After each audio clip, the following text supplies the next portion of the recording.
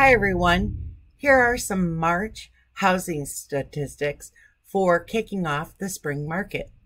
In Kane County, our average sales price was $354,439. The median sales price was $320,000.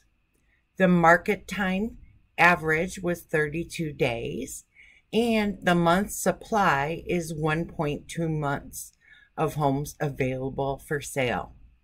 In McHenry County, the average sales price was $319,923.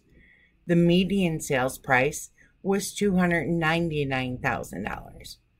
The market time average in days is 35, and the month supply of homes available for sale is 1.3 months.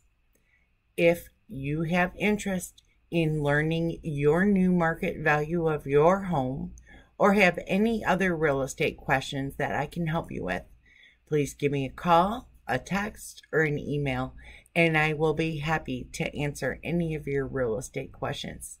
Take care, enjoy this lovely spring, and have a great day.